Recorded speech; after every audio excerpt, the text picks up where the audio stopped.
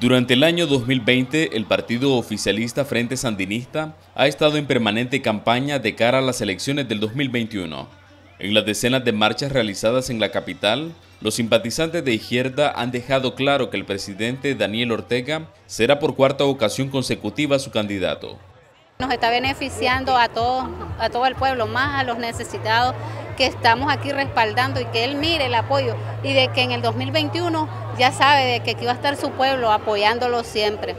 Analistas critican que aunque no se han realizado las reformas electorales que demandan la Organización de Estados Americanos y la Unión Europea, los sandinistas continúan con el proselitismo. Vemos nosotros grandes eh, eh, murales, pancartas y todo lo que vemos en las carreteras ya lanzando al actual presidente como candidato para el 2021. Y lo más preocupante es cuando no hay una clara supervisión del uso de los recursos del Estado. Mientras que los partidos políticos que adversan al Frente Sandinista denuncian que el presidente Daniel Ortega destina parte del presupuesto nacional para su propia campaña política totalmente desventaja porque el Frente Sandinista hace uso de los bienes del gobierno.